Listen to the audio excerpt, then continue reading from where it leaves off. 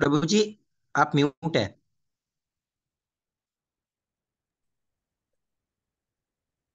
Sound नहीं आ रही क्या? नहीं अब आ रही है। हरे कृष्ण ओम नमो भगवते वासुदेवाय श्री ओम नमो भगवते वासुदेवाय ओम नमो भगवते वासुदेवाय ओम अज्ञानतिमिरिनाथस्य ज्ञानाञ्जन शलाकया चक्षुरुन्मिलितं येन तस्मै श्रीगुरुवे नमः। श्रीचैतन्यमनोभीष्टं स्थापितं येन भूतले। स्वयं रूपः कदा मह्यं ददाति स्वपदान्तिकम् वन्देऽहं श्रीगुरुं श्रीयुतपदकमलं श्रीगुरुं वैष्णवांश। श्रीरूपं साग्रजातं सहगना रघुनाथान्वितं सजीवम्। साद्वैतं सावधूतं परिजनसहिता कृष्णचैतन्यदेवं श्रीराधा कृष्णपादान् सहगना ललिता श्री श्रीविशाखावितांश। हे कृष्णा, करुणा सिंधु दीनबन्धु जगत्पते, गोपेश, गोपिका कांत राधा कांत नमस्तुते। ताप्त कांचन गौरांगी राधे वृंदावनेश्वरी वृषभानुसुते देवी, प्रणमामि हरिप्रिये। वाञ्छाकल्पतरुभ्यश्च कृपा सिन्धुभैव च पतितानां पावने भयो वैष्णवे भयो नमो नमः। नमो विष्णुपादाय कृष्णपृष्ठाय भूतले शिवते भक्तिवेदान्त स्वामी नामिने नमस्ते सरस्वते देवे। गौरवाणी प्रचारणे निर्विशेष शून्यवादी पाश्चात देश तारिणे श्री जय श्री कृष्ण चैतन्य प्रभु नित्यानंद, श्री अद्वैत गदाधर, शिवाश आदि गौर भक्त वृंदा नमो महावदानाय कृष्ण प्रेम पदायते, कृष्णाय कृष्ण चैतन्य नामने गौरीतशे नमः। हरे कृष्णा हरे कृष्णा, कृष्ण कृष्णा, हरे हरे। हरे राम हरे राम राम राम, हरे हरे। हरे कृष्णा, दूसरे दिन में आप सभी का बहुत हार्दिक अभिनंदन। आज कल कल हमने क्या पढ़ा था उसका थोड़ा सा अवलोकन कर लेते हैं। पहला अध्याय हमने पढ़ा, पहला अध्याय बहुत महत्वपूर्ण है इस दृष्टिकोण से कि वो पहला अध्याय जो है, ये हमारे अर्जुन अपनी समस्याओं का वर्णन करते हैं कि वो युद्ध नहीं लड़ना चाहते हैं। जिस युद्ध की तैया- तैयारी अर्जुन ने तेरह वर्ष किया था, ठीक है? तो वो युद्ध कह रहे हैं वो नहीं लड़ना चाहते। तो ये ये जो चीज़ है ये जो अर्जुन का असमंजस है, ये हमारे जीवन की समस्याओं का वर्णन करता है कि हम जी, कैसे अपने जीवन में किस किस चीज़ों से आसक्त होते हैं जिसके कारण समस्या उत्पन्न होती है। ठीक है? तो यहाँ पहले अध्याय में अर्जुन युद्ध ना करने के लिए चार कारण बताते हैं। वो चार कारण क्या है, वो देखते हैं। इसके बाद फिर इन कारणों को आप नोट करके रखिए, क्योंकि ये जो कारण है इन कारणों पे ही आज चर्चा होगी। ठीक है? तो सबसे पहला कारण बताते हैं कि अपने जितने रिश्तेदार हैं जितने पित, पितामह हैं गुरु हैं उनके भाई हैं उनके मित्र हैं उनके पुत्र हैं उनके पौत्र हैं दुर्योधन के पुत्र भी थे ना उस युद्ध में। तो उनको देख करके उनका गला सूखने लग गया कि ये दया का भावना आने लग गया। तो सबसे पहला कारण ये है। दूसरा कारण क्या बताते हैं कि जब सभी लोग इस युद्ध स्थल में मृत्यु को प्राप्त हो जाएँगे तो वो अगर जीत भी जाते हैं वो युद्ध में विजय भी प्राप्त कर लेते हैं तो उसका आनंद किसके साथ साझा करेंगे? ठीक है? जैसे हम अपने जीवन में कोई भी चीज़ आ, कोई भी सफलता पाते हैं तो उसका आनंद हम तब महसूस करते हैं जब हम अपने रिश्तेदारों के साथ अपने बच्चों के साथ या अपने माँ बाप के साथ या आ, अपने सगे संबंधियों के साथ उसको साझा करते हैं ठीक है? तो कह रहे हैं जब सभी लोग की परम गति को प्राप्त हो जाएँगे तो वो आनंद किसके साथ साझा करेंगे? किसके साथ उस उस अपनी सफलता को साझा करेंगे? तीसरा है कि इन सबों को मार करके पाप लगेगा ठीक है? शास्त्रों में क्षत्रियों को सिर्फ़ छह लोगों को मारने का आदेश है। छह लोगों को मारने का संस्करण दिया हुआ है। वो छह लोग कौन है? जो किसी का घर जलाता है, जो किसी का विष देता है, जो किसी को घातक हथियार से वार करता है, जो जो लूटता है किसी की ज़मीन को लूटता है, किसी के धन को लूटता है और छठा होता है कि जो किसी की पत्नी को अपहरण करके ले जाता है। तो ये छह जो कारण है, ये छह कारण शास्त्रों में उन्मोदित है कि ये छह कारण के ये जो भी ये पाप करेगा, ये छह पाप जो है, वो उसको क्षत्रिय तत्काल वो उसका वध कर सकता है।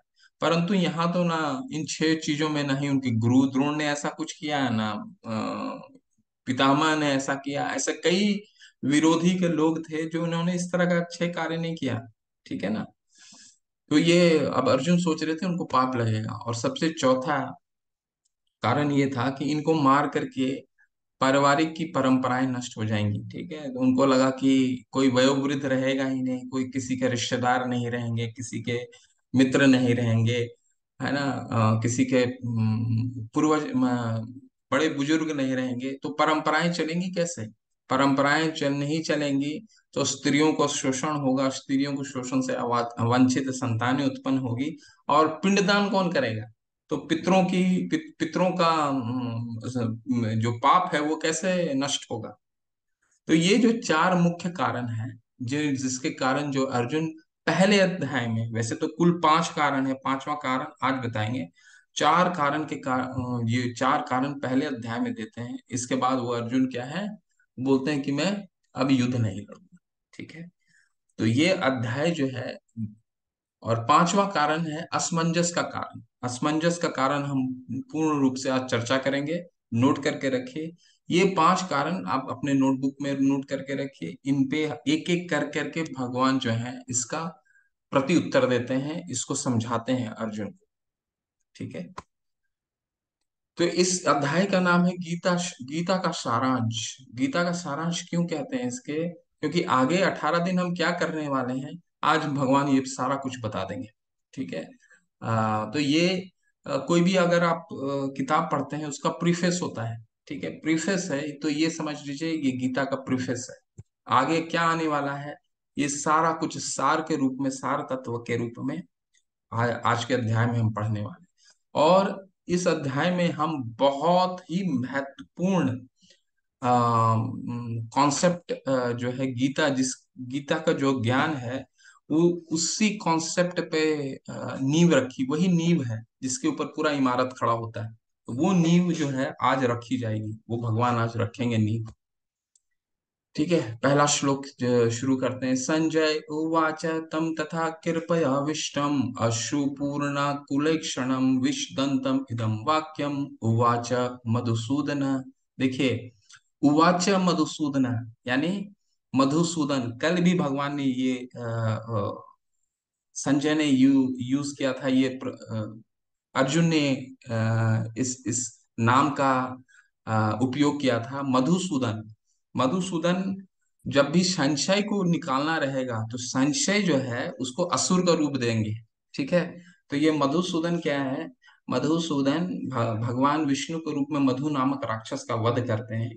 इसीलिए यहाँ पे बोल रहे हैं कि मधुसूदन, ताकि मेरा जो संशय आया है, और संजय कह रहे हैं, अर्जुन के मन में संशय जो आया है, शायद ये संशय रूपी राक्षस को भगवान अब काटेंगे।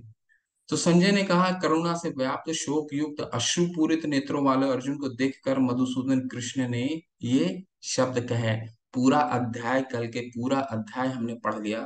पूरे अध्याय को छियालीस श्लोक हुए भगवान ने कहीं भी कोई प्रतिक्रिया नहीं दी।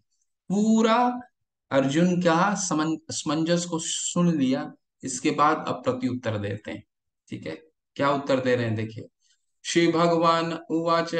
ये बहुत महत्वपूर्ण श्लोक है और उसमें आप लोग को कुछ कुछ चीज़ें नोट करनी है, जिसके कारण जो कुछ बहुत महत्वपूर्ण चीज़ें फिर हम चर्चा करेंगे इस पे। श्री भगवान उवाच, कुतस्तवा कश्मीलम इदम विस्मे समुपस्थितम अनार्य जुष्टम स्वर्गम अकृतिम कर्म अर्जुन। परम पिता परमेश्वर ने कहा, मेरे प्यारे अर्जुन, ये अशुद्धियाँ तुम पर कैसे आई? डांट लगा रहे हैं अर्जुन को अब। ठीक है? आ, मेरे प्यारे अर्जुन ये अशुद्धियाँ तुम पर कैसे आई? वे ऐसे व्यक्ति के लिए बिल्कुल नहीं है जो जीवन के मूल्य को जानता है। वे उच्च ग्रहों की ओर नहीं बल्कि बदनामी की ओर ले जाते हैं। ठीक है? बहुत डांटे हैं अर्जुन को कि तुम्हारे में ये कलेश आया कैसे? कुतस्त्वा कश्मिलम इदम कुतस्त्वा कहाँ से? कैसे आ गया ये? ये कैसे आया? तुम तो तेरह वर्ष तुमने बारह साल की तपस्या की एक बल तुमने तेरह साल तपस्या की और जिस युद्ध की तैयारी तुमने किया तेरह साल, यहाँ यहाँ आकर के ये मन कैसे बदल गया? क्या वो तुम्हें स्मरण नहीं है कि तुम्हारी पत्नी के साथ क्या व्यवहार किया इन लोगों ने? तुम्हारे भाई के साथ क्या व्यवहार किया इन्होंने? कोई स्मरण नहीं है, ठीक है? तो और तुम्हारे युद्ध युद्ध करने के कर्तव्य से ही विमुख हो रहे हो तो तुम्हारी तो बदनामी फैलने वाली है, ठीक है? तो ऐसा करके अर्जुन जो भगवान जो है, वो अभी उन्होंने अर्जुन को डांट लगाया एक बहुत मुख्य चीज़ है इसमें नोट करने की। वो नोट करने की क्या है, कल से हमने क्या पढ़ा? सबसे पहला क्या श्लोक था? श्री धृतराष्ट्र उवाच धृतराष्ट्र उवाच इसके बाद संजय उवाच अर्जुन उवाच ठीक है? पर यहाँ पे क्या है? कृष्ण वाचा नहीं आ रहा। यहाँ पे क्या आ रहा है? श्री भगवान उवाच तो कल के अध्याय में हमने जैसा पढ़ा था कि अगर हमें गीता का अध्ययन करना है और गीता को समझना है तो हम भगवान कृष्ण को भगवान का स्वरूप समझ करके, भगवान भगवान का स्वरूप नहीं, भगवान समझ करके पूरी गीता को अध्ययन करेंगे। तब जाकर के हम गीता को समझ पाएँगे। इसलिए कृष्ण को पूरे गीता में भगवान का रूप, भगवान बोला गया है, श्री भगवान उवाच कहीं कृष्ण उवाच नहीं आएगा। ठीक है? ये क्यों बोला गया है? हम आज पढ़ेंगे। इसलिए ये चीज़ बहुत मुख्य है। अब ये जो गीता का ये जो श्लोक है इसमें कुछ देर रुकेंगे हम और कुछ चर्चा करेंगे। ये श्लोक बहुत महत्वपूर्ण है। जो गीता का हमारा गी, गीता की जो प्रथम बिंदु है जिस कारण गीता कही गई वो है। कार्पण्य दोषो उपहत स्वभाव, पृच्छामि त्वां धर्म सम्मूढ़ चेता। यत श्रेयसयात निश्चितं ब्रूहि तन्मे, शिष्यस्तेहं शाधि माँ त्वां प्रपन्नम। अब मैं अपनी कृपण दुर्बलता के कारण अपना कर्तव्य भूल गया हूँ, ये अर्जुन कह रहे हैं, भगवान से। अब मैं अपनी कृपण दुर्बलता के कारण अपना कर्तव्य भूल गया हूँ और सारा धैर्य खो चुका हूँ। ऐसी अवस्था में मैं आपसे पूछ रहा हूँ कि जो मेरे लिए श्रेष्ठकर हो, उसे निश्चित रूप से बताएँ। अब मैं आपका शिष्य हूँ और शरणागत हूँ। कृपया मुझे उपदेश दें। बहुत महत्वपूर्ण एक एक शब्द इस श्लोक के बहुत महत्वपूर्ण है। ठीक है? वो हम आएँगे पहले। प्रभुपाद जी ने क्या तात्पर्य में लिखा है? कल आपको स्मरण होगा, जो संस्थापकाचार्य हैं, जिन्हों, जो ये कोर्स पहली बार कर रहे हैं शिला प्रभुपाद, उनको हम लोग प्रभुपाद बोल कह करके हर बार बुलाएँगे। प्रभुपाद क्यों है? क्योंकि वो प्रभु के, भगवान के पार्षद, भगवान के पार्षद है। उसको प्रभुपाद कहते हैं। भगवान विष्णु के पार्षद ठीक है? तो प्रभुपाद क्या लिखते हैं तात्पर्य में? ये प्राकृतिक नियम है और भौतिक कार्यकला कार्यकलाप की प्रणाली ही हर एक के लिए चिंता का कारण है। पग पर पग पर पग पर पग पर उलझन मिलती है अतः प्रमाणिक गुरु के पास जाना आवश्यक है, जो जीवन के उद्देश्य को पूरा करने के लिए समुचित पथ निर्देशक दे सके। समग्र वैदिक ग्रंथ में हम ये उपदेश देते हैं कि जीवन की अनचाही उलझनों से मुक्त होने के लिए प्रमाणिक गुरु के पास जाना चाहिए। ये उलझने उस दवाग्नि के समान है जो किसी के द्वारा लगाए बिना भबक उठती है। दवाग्नि क्या होता है? जंगल में आप आग जब लगती है तो कोई आग नहीं लगाने जाता है, वो स्वतः ही आग लगती है। तो ये दवाग्नि क्या है? कौन सा आग है? हमारे जीवन में जो आग लगती है, किस चीज़ की आग? किस चीज़ की आग है? ये ईर्ष्या की आग है, द्वेष की आग है, क्रोध की आग है, ठीक है? ये हमेशा लगा रहता है। हम हम विचलित होते हैं, ठीक है? हम परेशान होते हैं। इस, इसको दबावनी ये कोई हमारे भीतर कोई लगाने नहीं आता है। ये स्वतः ही हमारा चलता रहता है। पूरे दिन में हम कार्य करते रहते हैं। कभी ना कभी हम किसी पे गुस्सा होते हैं कभी ना कभी हम आ, हम हम हमारा मन विचलित हो जाता है ये कार्य हमने क्यों नहीं कर पाया? वो हम घर पे आके कभी किसी पे गुस्सा करते हैं। तो ये इस तरह का दबाव नहीं कोई लगाता नहीं ये आग स्वतः लगती है ठीक उसी तरह जैसे जंगल में लगती। इसी प्रकार विश्व की स्थिति ऐसी है कि बिना जाने च, बिना चाहे जीवन के उलझने स्वतः उत्पन्न हो जाती है। कोई नहीं चाहता कि आग लगे किंतु फिर भी वह लगती है और हम अत्यधिक व्याकुल हो उठते हैं। अतः मनुष्य को भौतिक उलझनों में न रहकर गुरु के पास जाना चाहिए। यही इस श्लोक का तात्पर्य है। तीन मुख्य बिंदु है ठीक है जो इस श्लोक से हमें मिलता है। वो क्या है मुख्य बिंदु? कार्पण्य दोषो उपहत स्वभाव। यानी अर्जुन जो अब क्या है? बिल्कुल भगवान के, भगवान को, भगवान की शरणागति में आ रहे हैं। अपने गुरु, अभी उन्होंने भगवान उनको गुरु के रूप में देखा है। गुरु के पूर्ण रूप से शरणागति में आ रही है, आते हैं तो इसलिए कह रहे हैं, मुझे कुछ नहीं समझ में आ रहा है गुरु, और मुझे, आप बताइए कि मेरे लिए क्या श्रेयस्कर है? प्रेयस्कर नहीं उन्होंने बोला, प्रिय प्रिय एक दो शब्द होते हैं। एक होता है प्रेयस्कर एक होता है श्रेयस्कर। प्रेयस्कर का क्या मतलब होता है? जो हमको प्रिय लगता हो ठीक है? प्रिय लगता हो यानी गुरु कुछ ऐसी ऐसी चीज़ें शिष्य को बता दे कि अभी तो वो खुश हो जाए। परंतु उसके लिए बाद में वो खुशी का कारण बने ना बने वो नहीं कहना वो वो नहीं पता है। कई शिक्ष, शिक्षक होते हैं ना कि मनोबल बढ़ाने के लिए छात्र का मनोबल बढ़ाने के लिए छात्र नहीं भी क- अच्छा किया होता है तो छात्र को एक मनोबल बढ़ाने के लिए बोलते हैं कि नहीं, ये तो तुमने तो मेहनत की, अभी और मेहनत करना है, तुम मेहनत, तुमने मेहनत किया। परंतु उसको सही मार्ग नहीं दिखाते हैं, एक मनोबल बढ़ाने के लिए करते हैं। उसको क्या कहा जाता है? प्रेयस कर, ठीक है? परंतु अर्जुन क्या पूछ रहे हैं? मेरे लिए जो श्रेष्ठ हो, मेरे लिए जो उचित हो, वो बताइए, ठीक है?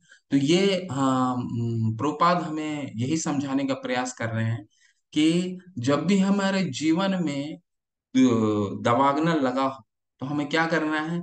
हमें स्वयं से उस उलझन को सॉल्व नहीं कर सकते।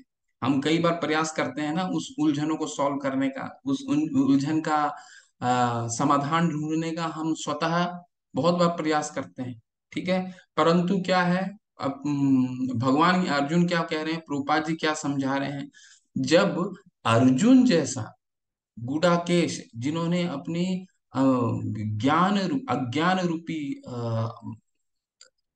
जो अज्ञान को अपने ज्ञान के अंधकार से हटा दिया। तेरह साल तपस्या किया और उसमें अपने नींद को भी हटा दिया उसने। नींद को नींद के ऊपर विजय प्राप्त कर ली। ऐसा महापुरुष ऐसा महात्मा भगवान का भक्त भी है। जब वो भगवान के गुरु के पास उसकी ये हालत है तो हम बदजीव के लिए जो हम हर क्षण हम विचलित होते हैं, उसके लिए क्या परिस्थिति है? उसके लिए एक ही भगवान प्रभुपाद जी बता रहे हैं कि हमें गुरु का शरण लेना चाहिए, ठीक है? तो हमारे मन में ये प्रश्न आएगा, गुरु क्यों? ठीक है, क्योंकि हम कलयुग में, हम पहला भारत में खासकर गुरु जो है भारत में कहा जाता है, ये गॉड मैन्युफैक्चरिंग कंट्री है। यहाँ पे हर दिन नए नए भगवान गूगल कीजिएगा, बहुत सारे भगवान मिलेंगे जो गुरु रूपी भगवान अपने आप को मान लिए वैसे हम एक ग्यारहवें अध्याय में भगवान बताएँगे कि ऐसे लोगों के साथ क्या करना है। पर गुरु सुनते ही हमारे मन में बहुत सारा संशय उत्पन्न हो जाता है। ठीक है?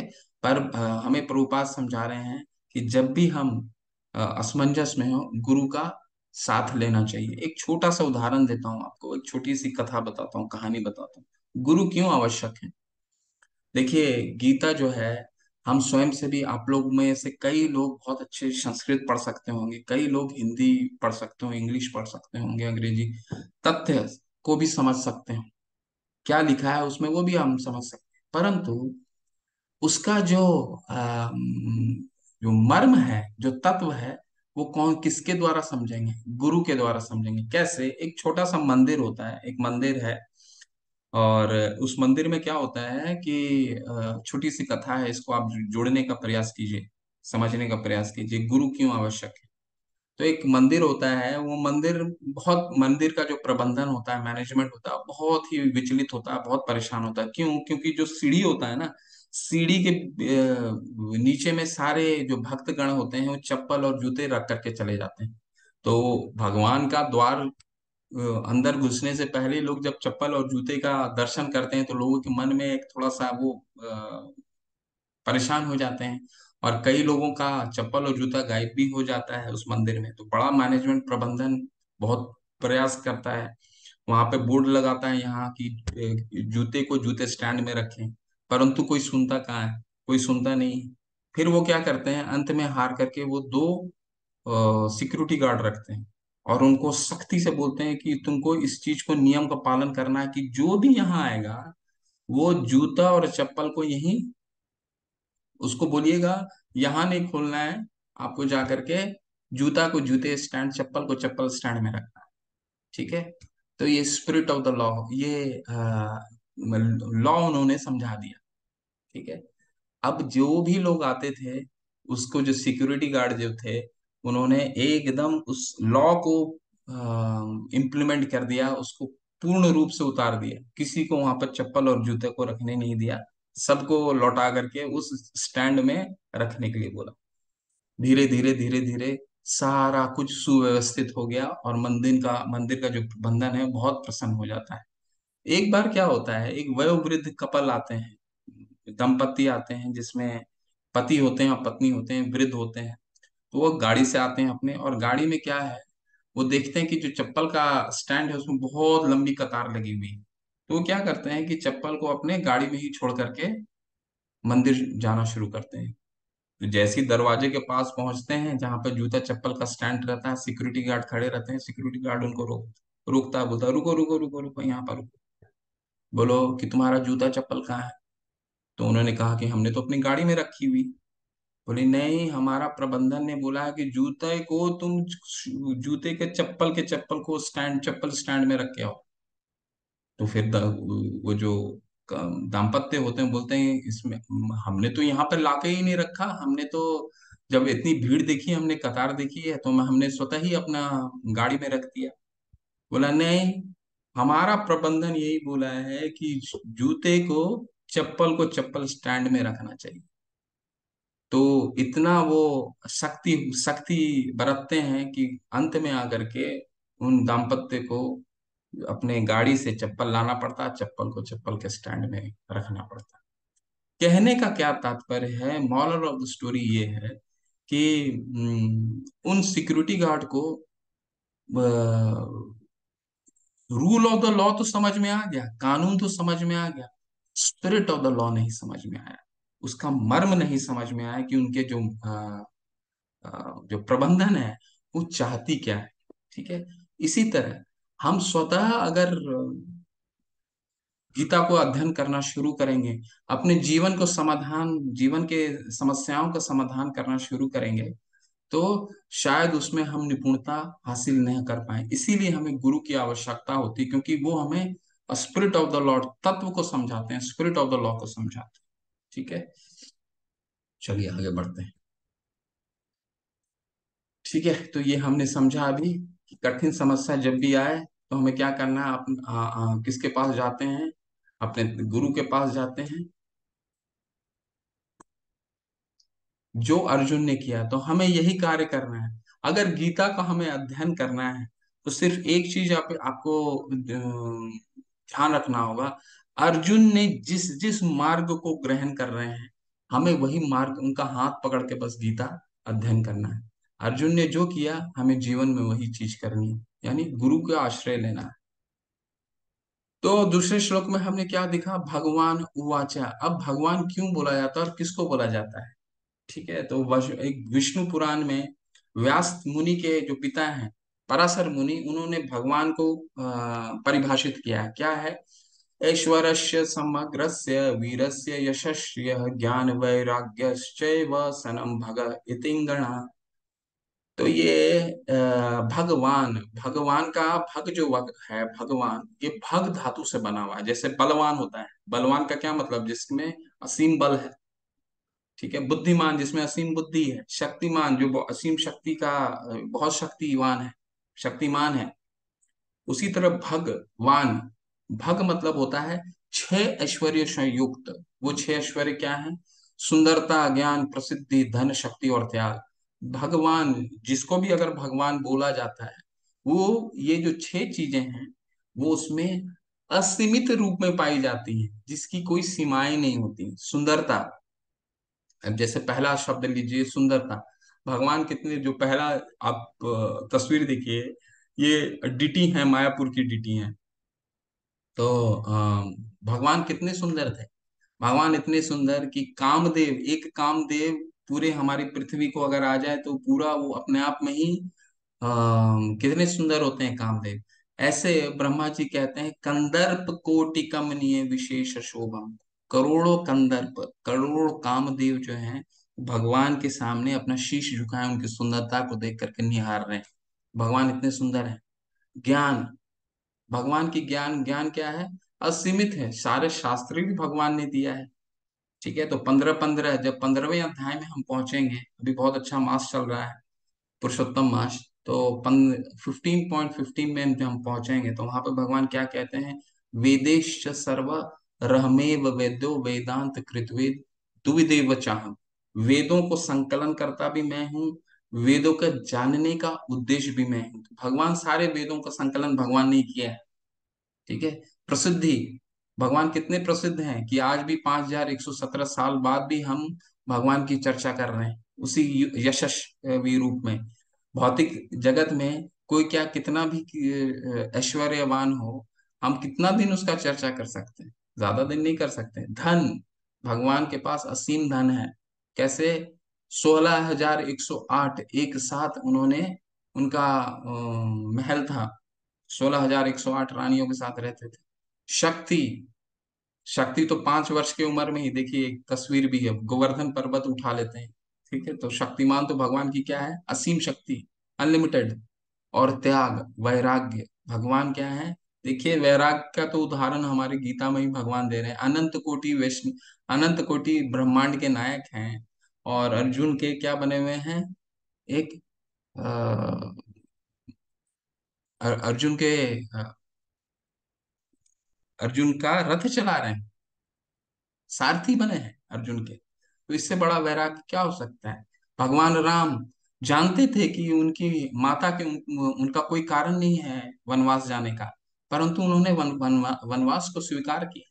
ठीक है? तो त्याग क्या है? वैराग्य असीम अनलिमिटेड तो भगवान को हम तीन तरीके से जान सकते हैं। ठीक है? ये आ, इस, इस इस श्लोक को इस तत्व को अच्छे से समझने का प्रयास कीजिए। भगवान को तीन तरीके से जानने की जानने जा, जाना जा सकता है। तीन तरीके से लोग जानने का प्रयास करते हैं। वो क्या होता है? परमेश्वर परमात्मा और ब्रह्म ज्योति। ब्रह्म ब्रह्म इति परमात्मेति भगवान इति शब्द थे ये भागवतम का श्लोक है। ब्रह्माति ब्रह्म इति परमात्मेति भगवान इति शब्द थे भगवान को तीन रूपों में जाना जा सकता है। एक तो भगवान की शरीर से निकली हुई कांति, लाइट, जिसको कहते हैं, उसको ब्रह्म ज्योति कहते हैं। कई लोग जिनका ज्ञान कम होता है, वो क्या कहते हैं कि भगवान तो एक ज्योति है। लेकिन उनको ये शायद समझने में वो उतने दूर नहीं पहुँचते कि जहाँ, जब तक बल्ब नहीं होगा, तब तक रोशनी कहाँ से आएगी, ठीक है? तो भगवान कई लोग समझते हैं कि सिर्फ़ भगवान एक कांति है, एक ज्योति है, ठीक है? अब जैसे, अब देखिए, अब यहाँ पे हम ऐसे देखते हैं, इस पूरे तस्वीर को देखिए आप, ये हमें क्या दिख रहा है? एक तस्वीर दिख रहा है, छोटा सा एक टीला दिख रहा है। तो इसको क्या कहेंगे? इसको कहेंगे कि हमारा ज्ञान कम है, जिसके कारण हम इस पूरे तस्वीर को अच्छे से नहीं समझ पा रहे तो सिर्फ़ एक ज्योति के रूप में देख रहे हैं। जब हमारा ज्ञान बढ़ता है तो हम क्या देखते हैं कि यहाँ पे एक बादल भी है, टीला भी है, ठीक है? तो यानी कि परमात्मा। जब हमारा ज्ञान और बढ़ता है, तब हम देखते हैं और उस पर हम जाते हैं आगे। तो देखते हैं वहाँ पे एक वृक्ष भी है और वृक्ष के अंदर एक तोता भी बैठा हुआ है, ठीक है? ये कब होगा? जब हमारा ज्ञान धीरे धीरे धीरे धीरे बढ़ता है। अब जैसे आप गाड़ी से चल रहे हैं, एक रास्ते में गाड़ी से चल रहे हैं, ठीक है? आप गाड़ी को रोकते हैं और दूर में देखते हैं जो पहाड़ है। आपको कुछ ज़्यादा कुछ तो नहीं दिख पाता, आप सिर्फ़ एक पहाड़ को देखते हैं। लेकिन आप गाड़ी रोक करके धीरे धीरे धीरे उस पहाड़ की ओर जब जाएँगे तो पहाड़ के जितना निकट जाएँगे, पहाड़ की उतनी डिटेल में आपको उस पहाड़ का चरित्र समझ में आएगा। ठीक उसी तरह भगवान को हमें समझना है तो शुरू में तो एक ज्योति की तरह दिखते हैं और जैसे जैसे जैसे हमारा ज्ञान बढ़ता है, भगवान के निकट आने लगते हैं तो हम और भगवान को समझते हैं।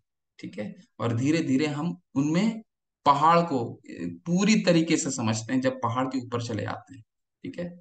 जैसे सूर्य को हम देखते हैं तो तीन तरीके से सूर्य दिख सकता है। पहला, सूर्य को हम देखने जाएँ तो सूर्य एक रोशनी के रूप में दिखता है। दूसरा, तब जाएँगे, तब क्या दिखेगा? सूर्य कोई गोला है। फुटबॉल की तरह हमें गोला के रूप में दिखता है, ठीक है?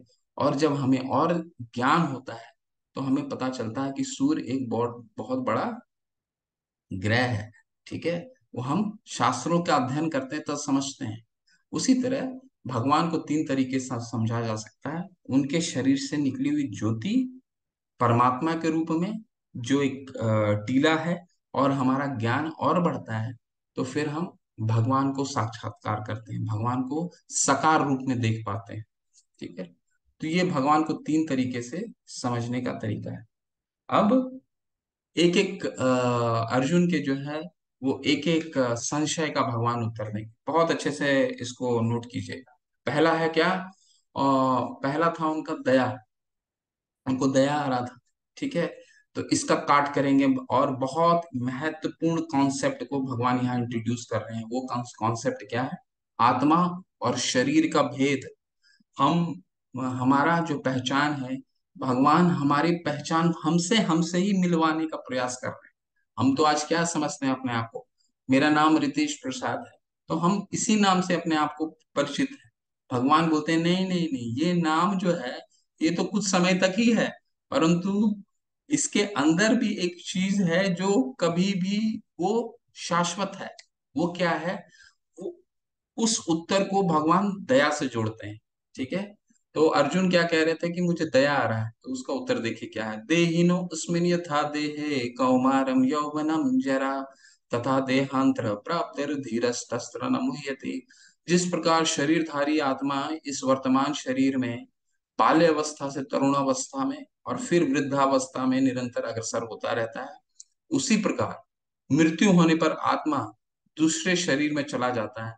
धीर व्यक्ति ऐसे परिवर्तन से मोह को प्राप्त नहीं होता। यहाँ एक मिनट के लिए रुकेंगे, आप लोगों से कुछ बात करेंगे, फिर आगे बढ़ेंगे। देखिए इसमें भगवान क्या कह रहे हैं? कि देहिनोस्मिन यथा देहे कौमारम यौवनम जरा। आप आप में से कितना कितने लोग मानते हैं कि जब आपके बचपन के आप तस्वीर देखते हैं तो उसमें आप क्या आ, उसमें और अब में क्या चेंज महसूस करते हैं? बस ये आपका मेरे से आपसे ये चर्चा करना चाह रहे हैं। दो मिनट का चर्चा हो क्योंकि आज का अध्याय बहुत लंबा है। तो ऐसा क्या आप देखते हैं जो आप बचपन के तस्वीर देखते हैं? हम खुश तो बहुत हो जाते हैं कि बचपन में हम ऐसे लग रहे थे देखने देखने में ऐसा लग रहा था हम लोग। पर उसमें ऐसा हम क्या देखते हैं? ऐसा क्या चीज़ निकल के आता है उस समय के और आज के परिवेश में? तो ये आपको बताना हैंड रेस कीजिए कि आप बचपन के तस्वीर देखते हैं तो क्या आपको उसमें डिनोट होता है? क्या उसमें पहचानते हैं? ऐसा क्या चीज़ होता है जो आज और उस समय में फ़र्क होता है। आप लोग चैट में भी डाल सकते हैं हैंड रेस कर सकते हैं ठीक है? क्योंकि इस चीज़ को अगर समझेंगे तो आ, इस कॉन्सेप्ट को हम समझ जाएँगे ठीक है? प्रिशा माता जी हरे कृष्ण। हरे कृष्णा प्रभु जी धन्यवाद प्रणाम। प्रभु जी बॉडीली चेंजेस शारीरिक परिवर्तन। जी। हरि बोल। बिल्कुल बिल्कुल हरि बोल। बहुत सुंदर। मनीषा माता जी हरे कृष्णा। हरे कृष्णा प्रभु जी। हरे कृष्ण। प्रभु जी बचपन में होता है कि हमें कोई भी टेंशन नहीं होती। जैसे जैसे हम बड़े होते हैं तो हमारी टेंशनें बहुत बढ़ जाती है। जी जी जी। बिल्कुल। सुहानी नारायण माता जी हरे कृष्णा। हरे कृष्ण हरे कृष्ण हरे कृष्ण हरे कृष्ण हरे कृष्ण हरे कृष्ण बचपन में हम बहुत भोले होते हैं।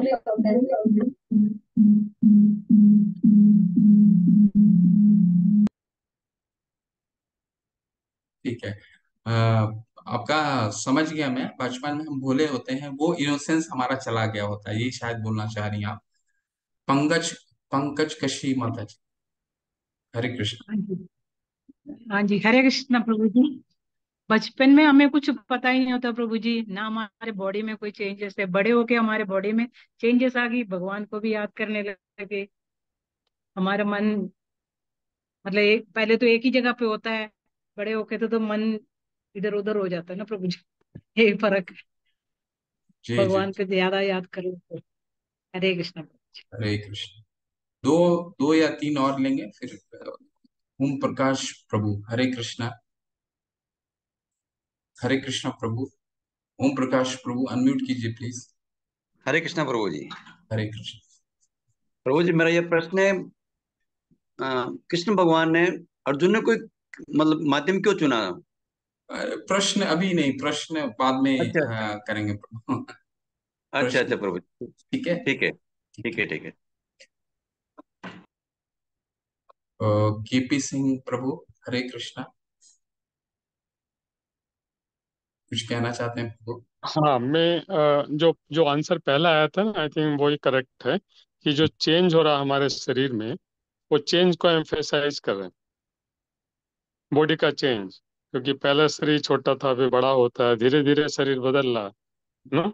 और अं- अंत में शरीर की की मृत्यु हो जाती है। तो वो इस परिवर्तन के ऊपर फोकस कर रहे हैं कि ये ये यू नो नासवान है शरीर। यू नो उस पॉइंट पे ले, ले जाना चाह। रहे हैं। बिल्कुल। हरे कृष्णा। चर्चा यही रोकते हैं। बिल्कुल आप लोगों में से बहुत लोगों ने सही उत्तर दिया। और चैट में भी कुछ अच्छे आ रहे हैं आपके। बचपन से निस्वार्थ प्रेम करते हैं लेकिन समय के साथ।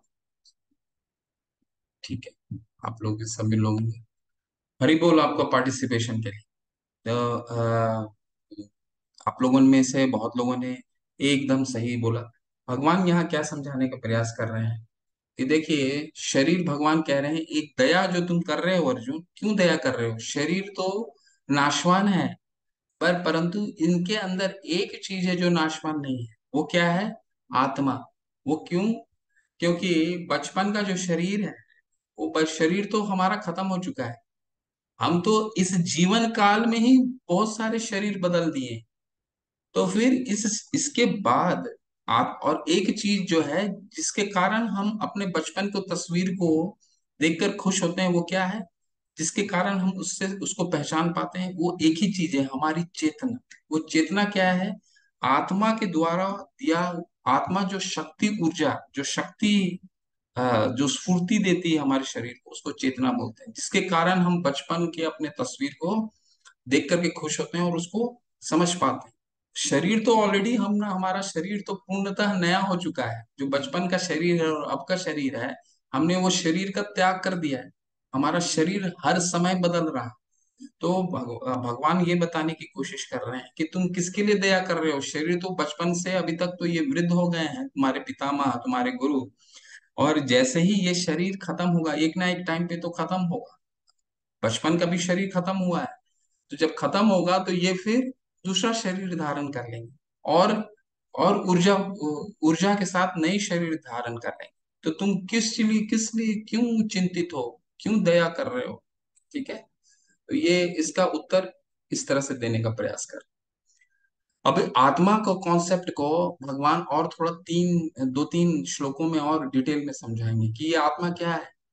वासांसि जीर्णानि यथा विहाय, नवानि गृह्णाति नरोपराणि तथा शरीरानि विहाय जीर्णानि, अन्यानि संयाति, नवानि देहि। जिस प्रकार मनुष्य पुराने वस्त्र को त्याग कर, नए वस्त्र धारण करता है, उसी प्रकार आत्मा पुराने तथा व्यर्थ के शरीर को त्याग कर, नवीन भौतिक शरीर धारण करता है। तात्पर्य में प्रोपा जी लिखते हैं, अनु आत्मा द्वारा शरीर का परिवर्तन एक स्वीकृत तथ्य है।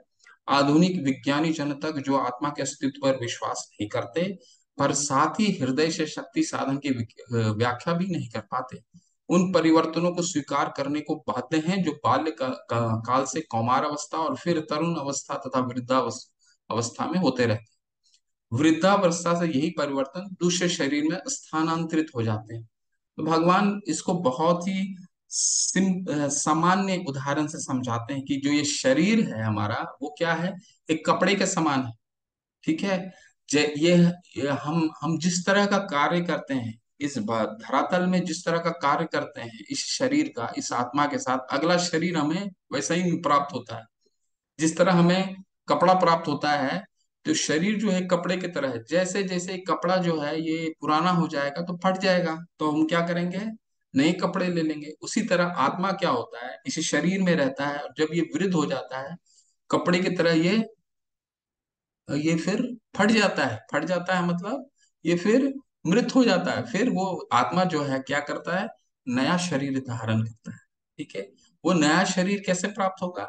वो प्राप्त होगा जो इस शरीर में उसने जो कार्य करे हैं, उसके कारण। तो भगवान यहाँ अर्जुन को समझाने का प्रयास कर रहे हैं कि तुम क्यों चिंता में हो? ये तो देवतुल्य पुरुष हैं, महाजन हैं। बारह महाजनों में एक है पितामह। तुम्हारे गुरु इतने देवतुल्य पुरुष हैं। इनको तो अगला शरीर स्वर्ग की प्राप्ति तो निश्चित है, इसमें तो कोई संदेह नहीं है तो तुम चिंतित क्यों हो? नैनम शिंदन्ति शस्त्राणि नैनम दहति पावकः, न चैन कलेदयन्तापो न शोषति मारुतः। वह आत्मा न तो कभी कभी शस्त्र द्वारा खंड खंड किया जा सकता है, न अग्नि द्वारा जलाया जा सकता, न जल द्वारा भिगोया या वायु द्वारा सुखाया जा सकता है। तो भगवान कह रहे हैं कि जिस चीज़ के लिए तुम चिंतित हो, आत्मा के लिए शरीर के लिए तो ये तो शरीर के अंदर जो आत्मा है, वो तो नाशवान, वो नाशवान नहीं है, वो शाश्वत है, ठीक है? उसको मारना संभव ही नहीं हो, ना ही उसको तोड़ा जा सकता है नहीं काटा जा सकता है नहीं जलाया जा सकता है, ठीक है? क्यों ऐसा है? क्योंकि शास्त्र में श्वेताश्वर उपनिषद में बताया गया है कि ये जो आत्मा है, उसका साइज़ कितना होता है? उसको साइज़ होता है अपना, आपका जो हेयर है, बाल है, बाल का जो टिप होता है, बाल अग्रस्त भाग से शतदा कलिपत से बाल का जो टिप है, उसको आप सौ सौ हिस्से में भाग भाग कीजिए। जो सौवा हिस्सा एक एक हिस्सा जो आता है, उसको फिर सौवा हिस्सा में भाग कीजिए। गणित कीजिएगा तो one by ten thousand part of the tip of the hair ये टिप ऑफ़ द हेयर है, टिप है जो हेयर का उसका एक बाई दस हजारवा हिस्सा, वो है आत्मा का साइज़ तो इसको जलाना, बुझ भिगोना, काटना, तोड़ना, ये संभव नहीं है, भगवान बताते हैं। ठीक है? तो बहुत सुंदर है फिर। तो अब भगवान समझाते अर्जुन को कि तुम क्यों चिंतित हो? तुम तो शरीर के, हमारी भी चिंता क्यों होती है? हम इसलिए चिंतित होते हैं क्योंकि हम शारीरिक स्तर पे कोई चीज़ को सोचते हैं। इसलिए तनाव आता है, निराशा आता है डिप्रेशन आता है, ठीक है? हम तो विज्ञान में बहुत तरक्की कर गए हैं, परंतु आप पिछले पाँच साल का अगर आप डेटा निकाल के देखिए तो अभी पूरे विश्व भर में दस हज़ार मिलियन, करीबन एक करोड़ के करीब आत्महत्या के केसेस होते हैं पूरे साल भर ठीक है तो ये तो हमारा विज्ञान बढ़ रहा है, उसके साथ ही तनाव, निराशा डिप्रेशन सारा बढ़ रहा है, ठीक है? तो हमें करने की क्या आवश्यकता है? शरीर को पोषण तो देने की हम कोशिश कर रहे हैं। हमें क्या करना है? हमें आत्मा को पोषण देना, आत्मा को समझने का प्रयास करना, आत्मा को तुष्ट करना है उस उस आत्मा के स्तर पे सोचने का प्रयास करना है। वो कैसे होगा? वो पूरे अध्याय में, पूरे गीता में भगवान बताएँगे। अब दूसरा प्रश्न दूसरा उनका उत्तर है। दूसरा संशय क्या था? आनंद। ठीक है? आनंद कैसे साझा होगा? उसका उत्तर देखिए। अवाच्यवादंश बहु, बहुनि विदेशन्ति तवाहिता निंदस्तस्व सामर्थ्य, ततो दुखम दुखतरम नो किम। तुम्हारे शत्रु अनेक प्रकार से कटु शब्दों का तुम्हारा वर्णन करेंगे और तुम्हारे सामर्थ्य का उपहास करेंगे। तुम्हारे लिए इससे दुखदाई और क्या हो सकता है? तो अर्जुन को बोल रहे हैं कि तुम अपना कर्तव्य से विमुख हो रहे हो तो तुम्हारा सब लोग, तुम्हारा तो लोग उपहास करेंगे, तुम्हें कायर बोलेंगे, तुम्हारा अपयश फैलेगा, तुम आनंद की चिंता कर रहे हो, यहाँ तो उल्टा बात होने वाला है, तुम्हारा उपहास फैलने वाला है, तुम अगर अपने कर्तव्य से विमुख हो जाओगे। हतो वा प्राप्यसी स्वर्ग जीतवा व भोक्ष से महिम तस्मा दुचिस्त कौंते युद्धाय कृत निश्चय हे कुंती पुत्र, तुम युद्ध युद्ध में मारे जाओगे तो स्वर्ग प्राप्त करोगे या यदि तुम जीत जाओगे तो पृथ्वी के साम्राज्य का भोग करोगे? अतः दृढ़ संकल्प करके खड़े हो और युद्ध करो। ठीक है? युद्ध करने के लिए बोल रहे हैं, बोले, तुम्हारे तुम्हारे हानि क्या है? तुम आनंद की बात कर रहे हो। अगर तुम जीत गए तो पूरा पृथ्वी का हर भोग करोगे। और अगर हार गए, तुम तुम भक्त हो ही तो स्वर्ग की प्राप्ति तो निश्चित है। तो तुम्हारा लॉस कहाँ है? ठीक है? तुम तो किसी भी तुम आनंद की बात कर रहे हो, तुम्हें तो आनंद की प्राप्ति हर हर एक कंडीशन में मिलने वाली है। हार गए तो स्वर्ग की प्राप्ति होगी, और जीत गए तो सारा पृथ्वी का भोग करोगे। ठीक है? अब ये तीसरा तीसरा क्या कह रहे थे? तीसरा क्या था? पाप। इनको मारने से हमें पाप लगेगा। तो भगवान यहाँ समझाते हैं, अगर तुम मेरी प्रसन्नता के लिए अगर युद्ध करोगे तो क्या होगा? अगर मेरी प्रसन्नता के लिए युद्ध करोगे तो उसमें कोई हानि नहीं है। नेहा विक्रम अनाशोस्ति प्रत्यय वायु न विद्यते, स्वल्पमस्य धर्म से त्रायते महतो भयात। इस प्रयास में तो में ना तो हानि होती है ना ह्यास अपितु इस पथ पर की गई अल्प प्रगति भी महान भय से रक्षा कर सकती है। तो भगवान बता रहे हैं ये तो तुम मेरी खुशी के लिए लड़ाई करोगे। तो अगर पाप भी करते हो तो अ, अगर ये पाप है तो तुम तो भगवान की तुम भगवान की भक्ति कर रहे हो। तो भक्ति में कोई भी पाप और पुण्य नहीं होता ठीक है? अल्प थोड़ा सा भी प्रगति हम करते हैं तो वो एक महान भय से रक्षा करेगी। अब जैसे भगवान हनुमान जी हैं। हनुमान जी ने क्या किया? पूरे लंका का दहन कर दिया। ठीक है? इसमें कई लोग मारे गए पर वो क्या किया? उन्होंने क्यों किया ऐसा? भगवान राम की प्रसन्नता के लिए किया। ठीक है? तो अ, अर्जुन को समझा रहे हैं कि पाप नहीं लगने वाला है तुम्हें। तुम तुम मेरी प्रसन्नता के लिए कार्य कर रहे हो। चौथा क्या था? पारंपरिक परंपराएँ नष्ट हो जाएँगी। तो उसका है देखिए त्रैगुण्या विषया वेदा निस्त्रैगुण्या भवा अर्जुना निर्द्वंदो नित्व सत्वस्थो निर्योग क्षेम आत्मवान यवनार्थ उत, यवनार्थ उत्पाने सवर्त संप्लुदोतके तब तवान तवान सर्वेषु वेदेषु ब्रह्मणस्य विजानतः। भगवान यहाँ बहुत अच्छा से समझाने के प्रयास कर रहे हैं कह रहे हैं। त्रिगुणिया त्रिगुणिया विषय वेदा ये अगले श्लोक हाँ इसमें समझाने का प्रयास कर वेदों में मुख्यतः प्रकृति के तीन गुणों का वर्णन हुआ है। हे अर्जुन, तीन इन तीनों गुणों से ऊपर उठो। समस्त देवताओं और लाभ या सुरक्षा की सारी चिंताओं से मुक्त होकर आत्मपरायण बनो। भगवान यहाँ समझा रहे हैं कि तुम परिवार की चिंता कर रहे हो। तुम तो शास्त्रों को पालन कर रहे हो। शास्त्रों, शास्त्र का क्या उद्देश्य है? वेदेश सर्वरह में विवेद्य कोई भी शास्त्र का एक ही उद्देश्य होता है, भगवान को जानना, भगवान की भक्ति करना। यही शास्त्र का उद्देश्य है। तो तुमको तो मैं ही बोल रहा हूँ युद्ध करने के लिए। तो तुम तो मेरी प्रसन्नता के लिए युद्ध कर रहे हो। तो तुम पारिवारिक पिंडदान और उसके लिए तुम चिंतित हो। जब शास्त्र का ही तुम पालन कर रहे हो तो ये सब जो चीज़ें ही अपने आप ही पूरी हो जाती हैं। ठीक है? इसको इस तरह से समझाने का प्रयास कर रहे हैं। और पांचवा क्या था कारण? असमंजस। जो सातवें श्लोक में हमने क्या पढ़ा था? कार्पण्य दोषोपहत स्वभाव त्वाम धर्म सम्मूढ़ चेता। अर्जुन बोले ना कि मैं क्या करूँ, नहीं करूँ, मैं बिल्कुल तय नहीं कर पा रहा हूँ। तो ये असमंजस का था। तो उसका उत्तर क्या देते हैं भगवान? भगवान उसका उत्तर ये दे रहे हैं, देखिए।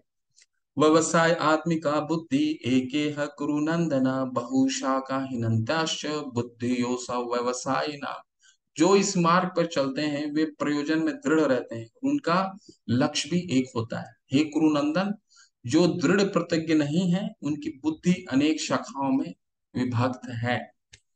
ठीक है। भगवान बता रहे हैं, बहुत बहुत ही सामान्य तरीके से समझाने के प्रयास कर रहे हैं। व्यवसाय, आत्मिका, बुद्धि।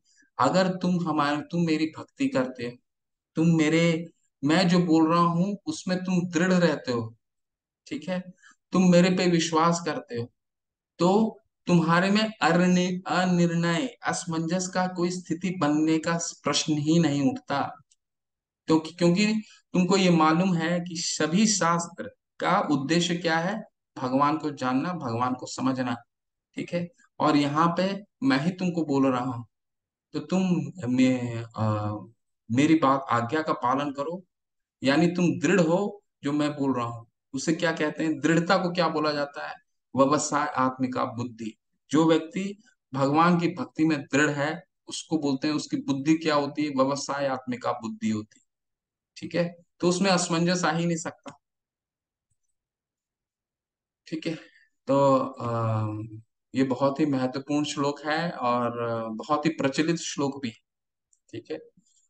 कर्मण्यवाधिकारस्ते मा फलेषु कदाचन मा कर्म फल हेतु भू मा ते संगोस्त कर्मणि। तुम्हें अपने कर्म कर्तव्य करने का अधिकार है किंतु कर्म के फलों के तुम अधिकारी नहीं हो।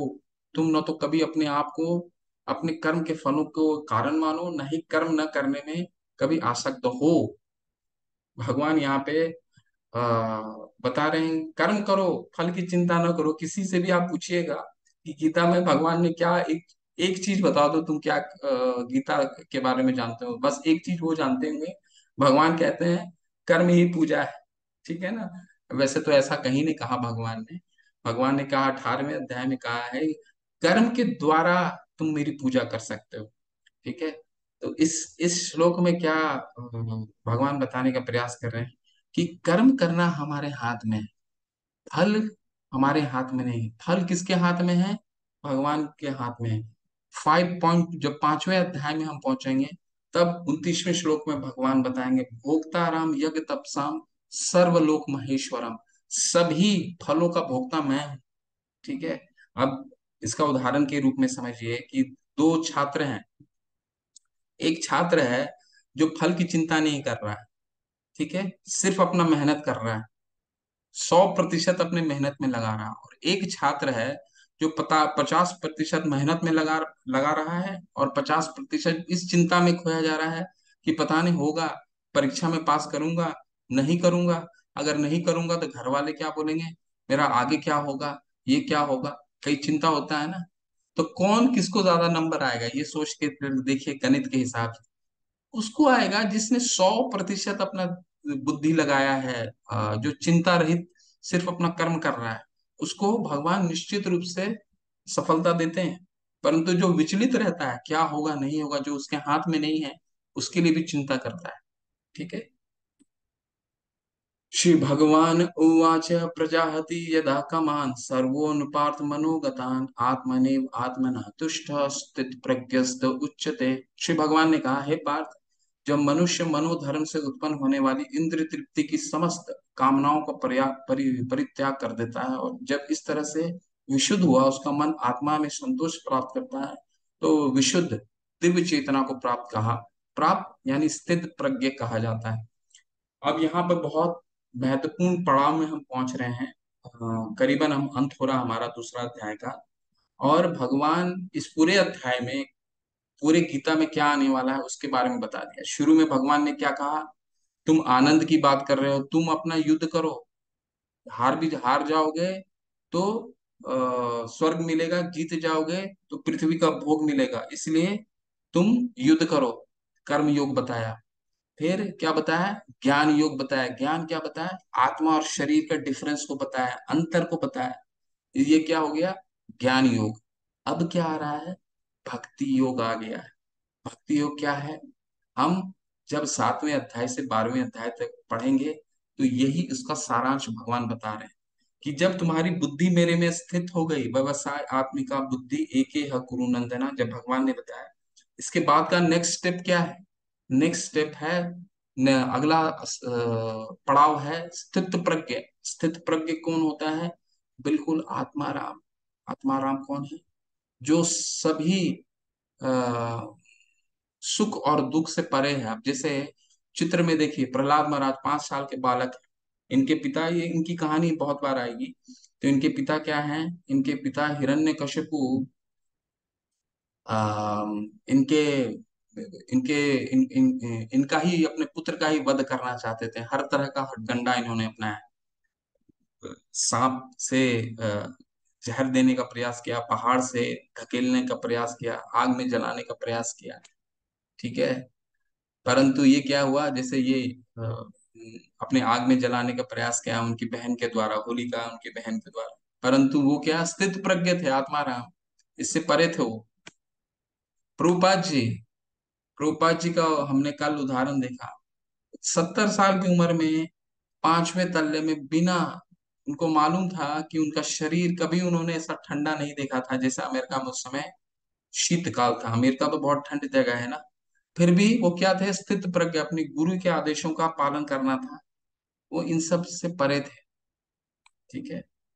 अब दो श्लोक आने वाले हैं। ये दो श्लोक बहुत महत्वपूर्ण हैं और कहा जाता है कि बड़े बड़े विश्वविद्यालय, साइकोलॉजी के विश्वविद्यालयों में ये दो श्लोक बहुत जगह प्रयोग किया जाता है। ये श्लोक क्या है? इसका महत्व मैं बताता हूँ, ठीक है? ये श्लोक, हम मनुष्य का पतन क्यों होता है? डाउनफॉल क्यों होता है? वो आठ चरण एट स्टेप में बताया गया, आठ चरण में बताया गया इन दो श्लोकों में।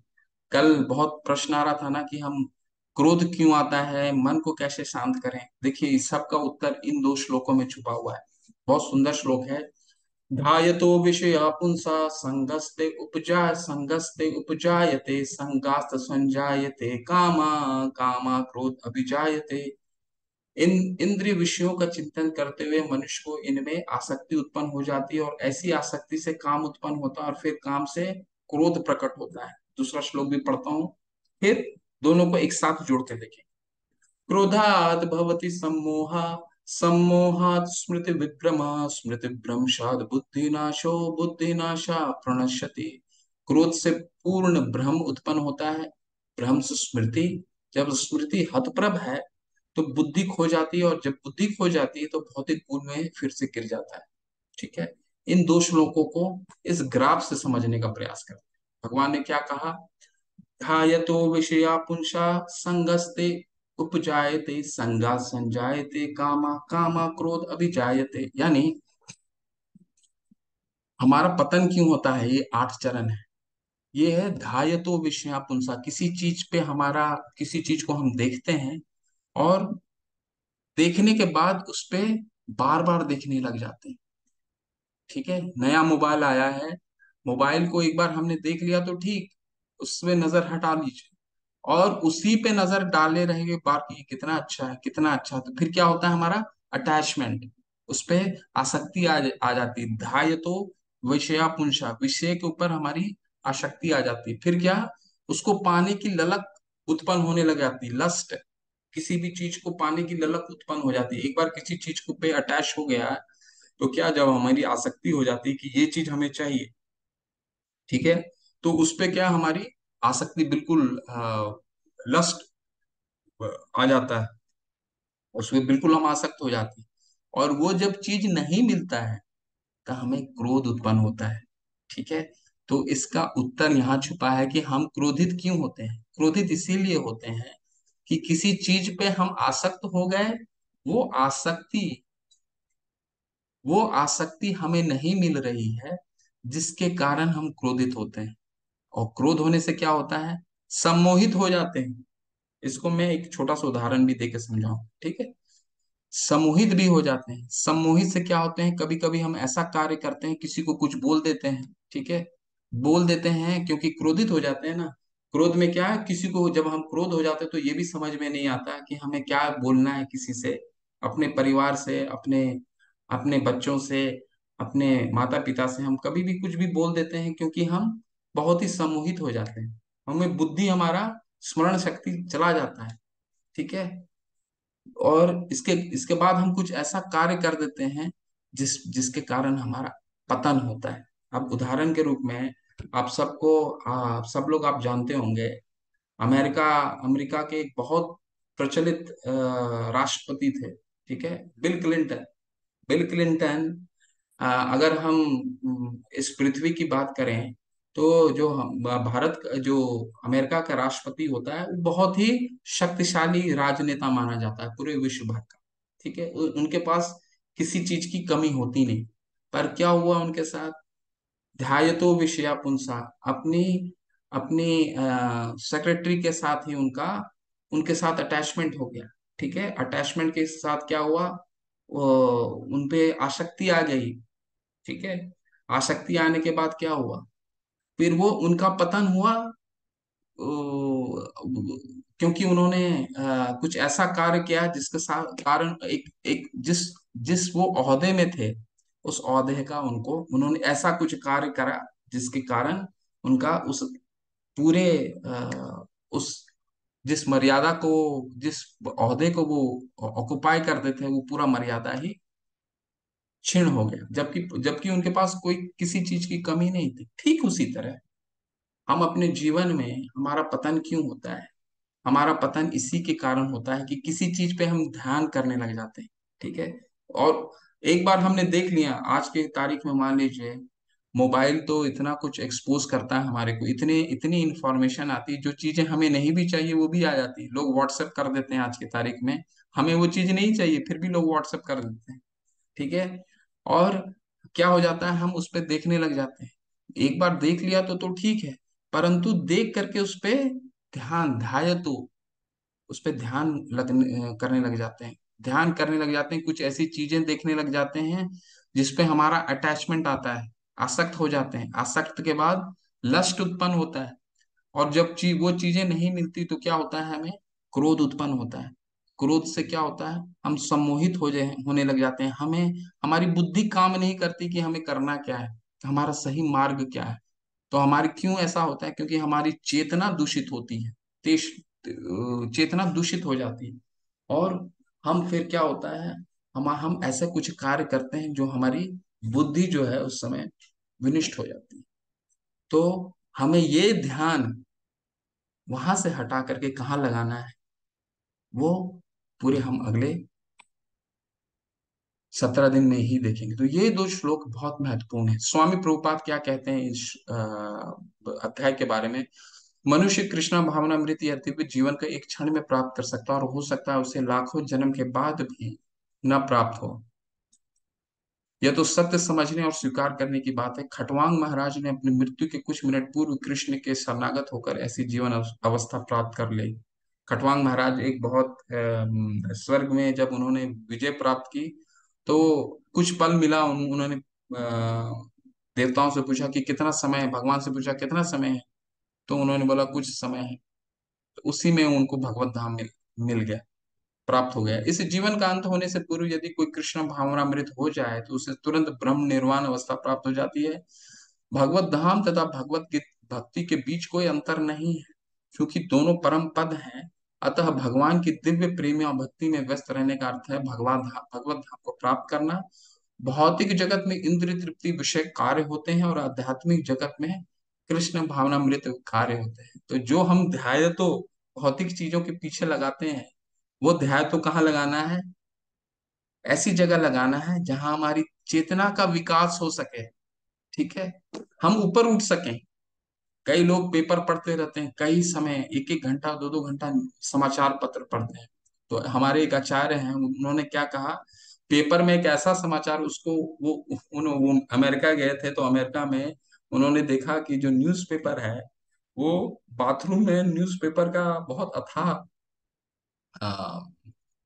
पाइलअप हुआ हुआ है। तो उन्होंने बोला कि तुम ठीक करते हो कि इस जो समाचार पत्र है उसकी जहाँ जगह है, वहीं रहनी चाहिए।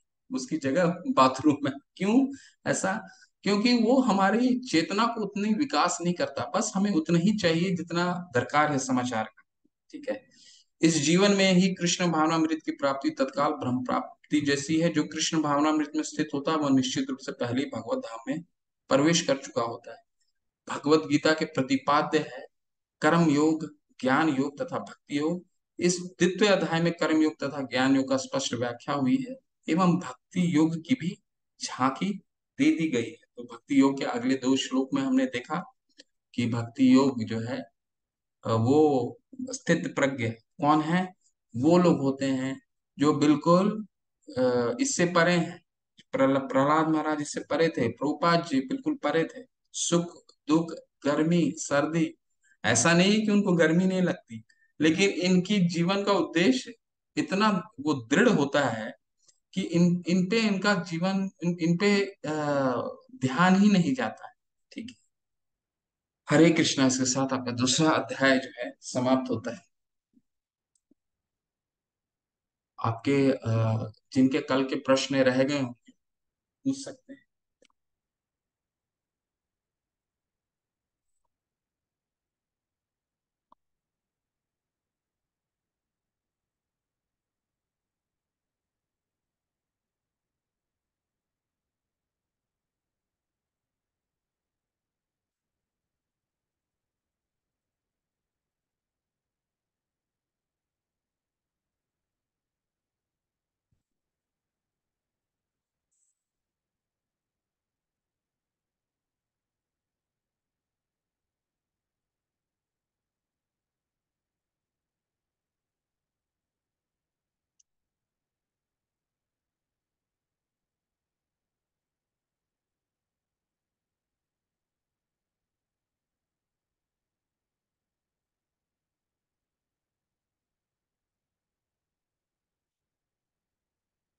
ठीक है। मधु माता जी मधु माता मधु तनिषा माता जी हरे कृष्ण। अनम्यूट कीजिए माता जी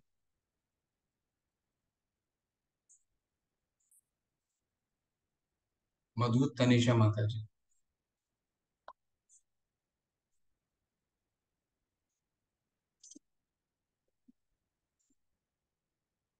ठीक है। मानव हरे कृष्णा प्रभु जी। हाँ हाँ हरे कृष्णा प्रभु जी। हरे कृष्ण। प्रभु जी पहले मैंने हैंड रेज किया था जब पहले अच्छा। आपने वो अच्छा अच्छा। शरीर के बारे में। हाँ जी अच्छा प्रभु जी। अच्छा ठीक है। हरे कृष्ण। मानव प्रभु हरे कृष्ण। पूछिए प्लीज़ हरे कृष्णा प्रभु जी। हरे कृष्ण। प्रभु जी जैसे आपने बताया कि हमें कर्म करने का तो अधिकार है पर परंतु कर्म के फलों के हम अधिकारी नहीं हैं। तो इसे प्रैक्टिकल लाइफ में कैसे इम्प्लीमेंट किया जाए? क्योंकि मतलब हम कोई भी काम करते हैं, उसके पीछे हमारा कोई मोटिवेशन कोई ना कोई वजह रहती है। तो इस इसको जो श्लोक है, इसको प्रैक्टिकल लाइफ में कैसे इम्प्लीमेंट किया जाए, उसके बारे में थोड़ा सा विस्तार से हमें बताइए। ठीक, बहुत सुंदर प्रश्न है। आपका प्रश्न ये बहुत ही, बहुत उचित प्रश्न है कि अगर किसी को ये पता चल गया कि फल, हम फल के भागी नहीं हैं तो हमें, हम अपने आप को कैसे प्रोत्साहित करें? ठीक है? तो देखिए, जैसे मैंने आपको उदाहरण रूप में, आप कोई भी कार्य कर लीजिए। फल तो आपके हाथ में नहीं है, ये तो आप मान के चलिए। फल हम, हमारे हिसाब से कभी फल मिलेगा? नहीं मिलेगा। परंतु हमें क्या करना है? अब जैसे मैंने आपको उदाहरण के रूप में समझाया कि दो छात्र हैं। ठीक है? दो छात्र हैं। एक छात्र है क्या? कि वो ज़्यादा चिंता नहीं कर रहा है रिज़ल्ट क्या होने वाला है? ठीक है, एक परीक्षा की तैयारी कर रहा है, ज़्यादा चिंता नहीं कर रहा है कि रिज़ल्ट क्या होने वाला है, नहीं होने वाला है। वो क्या कर रहा है? सौ प्रतिशत सिर्फ़ मेहनत कर रहा है। भगवान क्या बता रहे हैं? मेहनत करना है, तुमको लड़ाई तो अर्जुन, तुम लड़ाई तो करना तुम्हारा आवश्यक है, तुम जीतोगे, तुम तुम पूरा पृथ्वी का भोग करोगे, और अगर हार गए तो तुम्हें स्वर्ग की प्राप्ति होगी। आठवें अध्याय जब हम पहुँचेंगे, भगवान अर्जुन को समझाते हैं कैसे, तस्मात् सर्वेषु कालेषु माम अनुस्मर युद्ध च, मयि अर्पितो मनो बुद्धि, मामे वेशाशि असंशय। तुम युद्ध करो अर्जुन, पर अपनी मन और बुद्धि को मुझ पे लगा, मुझ पे छोड़ दो। तुमको तुम्हारा काम क्या है? तुम युद्ध करो। तब एक छात्र है, मान लीजिए मैंने आपको बैक टू उदाहरण पे आता हूँ कि एक छात्र है, वो पूर्ण रूप से हार्ड वर्क अपना, उसको परीक्षा की तैयारी कर रहा, कुछ भी चिंता नहीं ठीक है? उसको एक तो वो छात्र है और दूसरा एक छात्र है जो क्या कर रहा है, जो आधा समय अपना फिफ्टी परसेंट तो तैयारी में लगा रहा है और फिफ्टी परसेंट चिंता कर रहा है कि क्या होगा रिज़ल्ट आएगा, नहीं आएगा रिज़ल्ट आएगा पास होऊँगा, नहीं होऊँगा, अगर पास हो गया तो घर वालों को क्या बोलूँगा? नहीं, अगर पास हो गया तो क्या होगा? और अगर नहीं पास हुआ तो फिर घर वालों को क्या बोलूँगा? तो इन दोनों की एफर्ट देखिए, इस जो दूसरा वाला छात्र है, वो क्या कर रहा है? वो अपनी आधी शक्ति ऐसी चीज़ पे लगा रहा है जिसका कोई निष्कर्ष नहीं मिलने वाला है। तो क्यों ना हम सौ प्रतिशत अपनी ऊर्जा वहाँ लगाएँ जहाँ हम अपने आप को कंट्रोल कर सकते हैं, जो हमारे बस में है। ठीक है? कोई भी कर्म होता है प्रभु, कोई भी कर्म होता है, अठारहवें अध्याय में हम देखेंगे, उसके पाँच कारण होते हैं, सफलता का भी और असफलता का भी, ठीक है? जिसमें हमारा हमारा सिर्फ़ एक कार्य होता है, एक हम हमारे हाथ में, वो क्या है? Hard work. सिर्फ़ वो हमारे हाथ में है, बाकी के जो चार हैं, हम अठारहवें अध्याय में पहुँचेंगे तो हम समझेंगे उसको कि बाकी के चार हैं, वो हमारे हमें, हमारे हाथ में वो होते ही नहीं है। और अंतिम का जो कारण होता है वो परमात्मा होते हैं। परमात्मा जब तक स्टैंप जिस चीज़ में स्टैंप लग गया, परमात्मा जी परमात्मा का, हमें उसको एज इट इज़ एक्सेप्ट करना चाहिए, ठीक है? अगर असफलता मिली है तो भी हमें एक्सेप्ट करना चाहिए कि हो सकता है हमारी मेहनत कम रह गई हो, या हो सकता है कि हमें कुछ, जिस कार्य के लिए हम कार्य करना चाह रहे हैं, वो कार्य हमारे लिए ना बना हो, हमारे लिए कोई और कार्य ठीक है? तो भगवान हमारे सबसे बड़े हितैषी हैं। हमारे इस जीवन में, जीवन का सबसे बड़े हितैषी कौन होते हैं? हमारे माता और पिता। लेकिन भगवान क्या बोलते हैं पाँचवें अध्याय में, उनतीसवें श्लोक में? सुहृदय सर्वभूता नाम यानी मैं तुम्हारा सबसे बड़ा हितैषी हूँ। तो भगवान हमें जो देते हैं उससे बड़ा कोई, उस उस समय उससे अच्छा कोई और कोई दे ही नहीं सकता है, ठीक है? तो इसको इस तरीके से हमें लेकर के आगे बढ़ना है। ठीक है, प्रभु?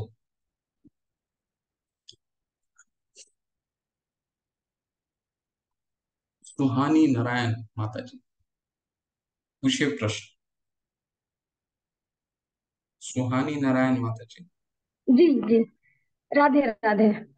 हरे राधे राधे हरे कृष्णा हरे कृष्णा प्रभु जी मेरा सवाल ये था कि जब हम कोई भी जब हम किसी इंसान के मन के विपरीत कोई काम करते हैं और अगर हम उसे माफ़ी मांग भी लेते हैं तब भी वो व्यक्ति सामने वाला व्यक्ति क्रोधित क्यों रहता है?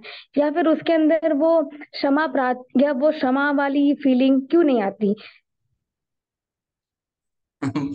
एक्चुअली क्या है माता जी हम ज़्यादा समय इसी में व्यर्थ करते हैं कि दूसरे वाले हाँ। दूसरे क्यों हमें ऐसा करते हैं?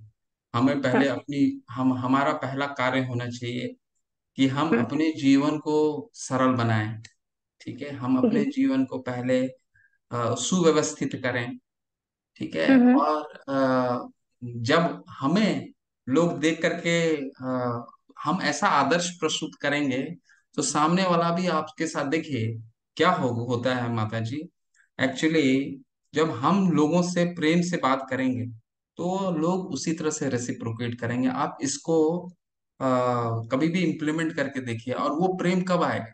जब हम कुछ ना कुछ अपने जीवन में कुछ ऐसी सरलता विकसित करें ऐसा व्यवहार विकसित करें जिसके कारण ये हम हमारे जो जो आचरण है उस आचरण से प्रेम सामने वाले के सामने वाले के प्रति प्रेम झलके तो सामने वाला भी वैसा ही रेसिप्रोकेट करेगा। और अगर वो नहीं भी रेसिप्रोकेट करता है तो आप उससे विलग रहिए। आप अब कर्तव्य जो जितना कर्तव्य होता है, कर्तव्य कीजिए। और उसके बाद उनके साथ ज़्यादा आप जुड़ाव मत रखिए। कर्तव्य का पालन कीजिए। देखिए, तीन चीज़ है। भगवान बोलेंगे सत्रहवें सोलहवें अध्याय में त्रिविधम नरकस्य इदम द्वारम नाश आत्मनः, कामा क्रोध तथा लोभ।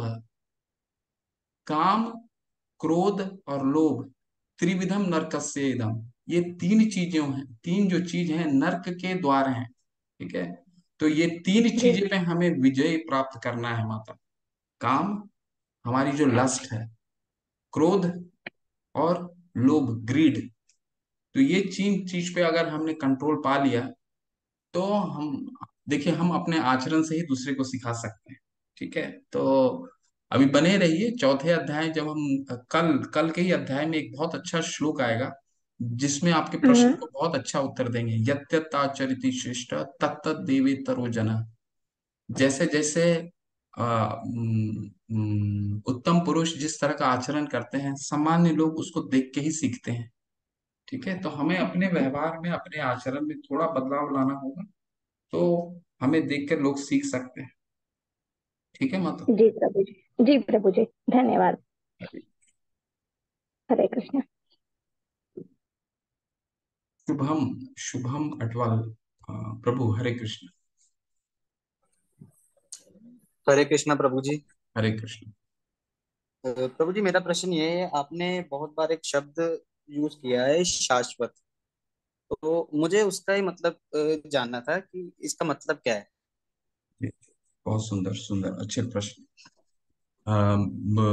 ये सब फाउंडेशन फाउंडेशनल शब्द हैं। ये सब बहुत महत्वपूर्ण शब्द हैं। आपने अच्छा किया पूछा। शाश्वत का मतलब होता है जिसका शुरुआत कहाँ हुआ वो भी पता नहीं जिसका अंत क्या है वो भी पता नहीं। जो कभी समाप्त नहीं होता उसे शाश्वत कहते हैं। बहुत ही सामान्य सिम सिंपल शब्द में समझिए।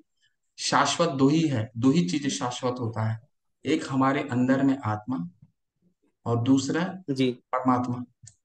तो दो ही लोग हैं जो शाश्वत है जिसका अंत और आदि और अंत कभी नहीं नहीं होता जिसे शाश्वत कहते हैं प्रभु। हरे कृष्णा प्रभु Hare Krishna.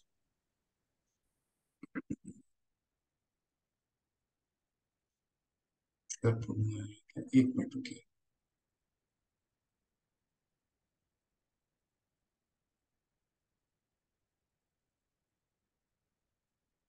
Oppo A three आप अपना नाम लिख लीजिए।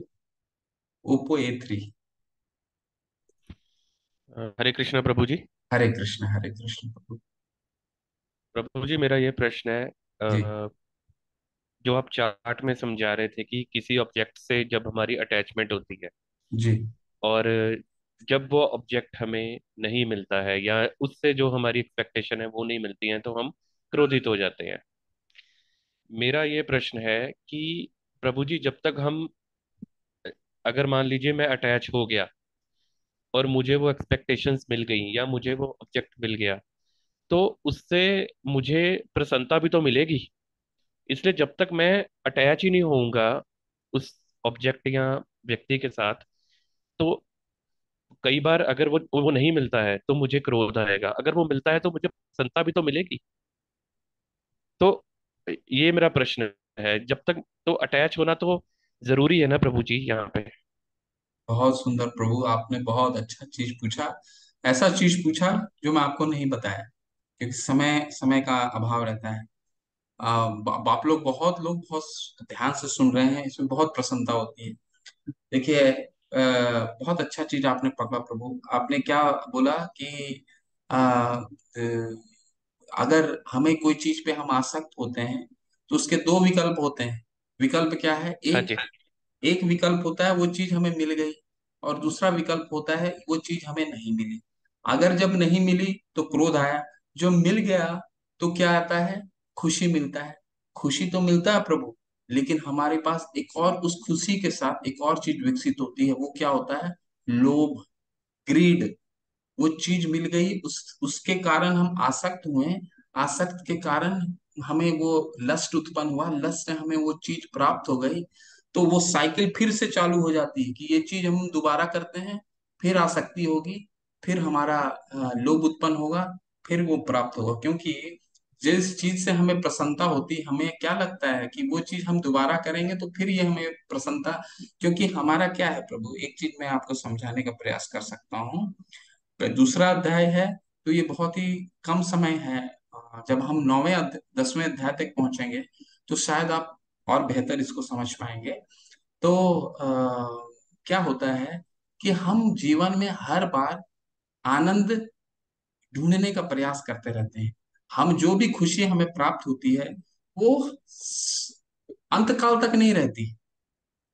वो खत्म हो जाता है एक समय के बाद। फिर हम वही चीज़ खुशी प्राप्त करने के लिए वो दोबारा प्रयास करना चालू कर देते हैं।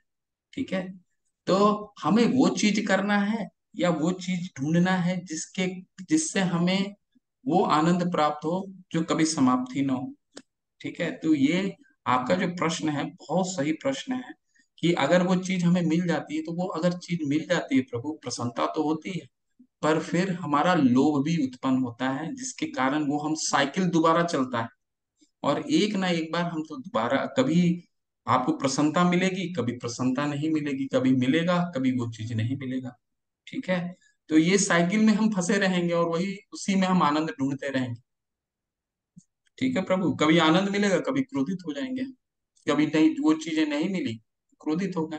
कई लोग स्टॉक मार्केट में लगाते हैं पैसा तो क्या होता है, कभी उन्हें लाभ प्राप्त होता है। वही, और जब लाभ प्राप्त होता है तो क्या करते हैं वो? उसी चीज़ को उनका लोभ विकसित होता है और पैसा लगाते हैं। तो कभी ना कभी वो पैसा अ, कम अ, फल भी देता है तो दुखी भी हो जाते हैं। तो देखिए जो जो चीज़ आपको सफलता देती है वही चीज़ आपको दुखी भी दुखी दुख भी करता है इसमें कोई संशय नहीं है। ठीक है प्रभु? तो तो इसका मतलब आने वाले अठारह दिनों में या अध्यायों में पता लग जाएगा कि आ, कि परमानेंट जो खुशी है वो कैसे प्राप्त की जा सकती है? बिल्कुल बिल्कुल बिल्कुल बिल्कुल। बहुत आप बहुत बहुत बहुत बहुत धन्यवाद प्रभु जी धन्यवाद। हरे कृष्ण।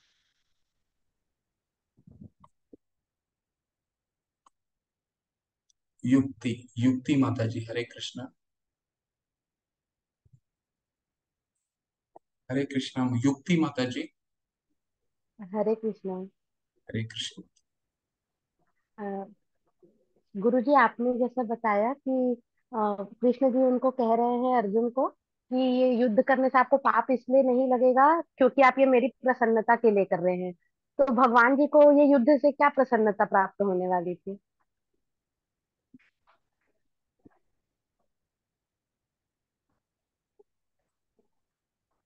भगवान को इस युद्ध से क्या प्रसन्नता क्योंकि धर्म का स्थापना करने वाले थे। देखिए एक एक चीज़ समझने का प्रयास कीजिए प्रमाता दुर्योधन जैसा असुर अगर जीवित रह जाता तो कितना बड़ा अधर्म होता। ठीक है?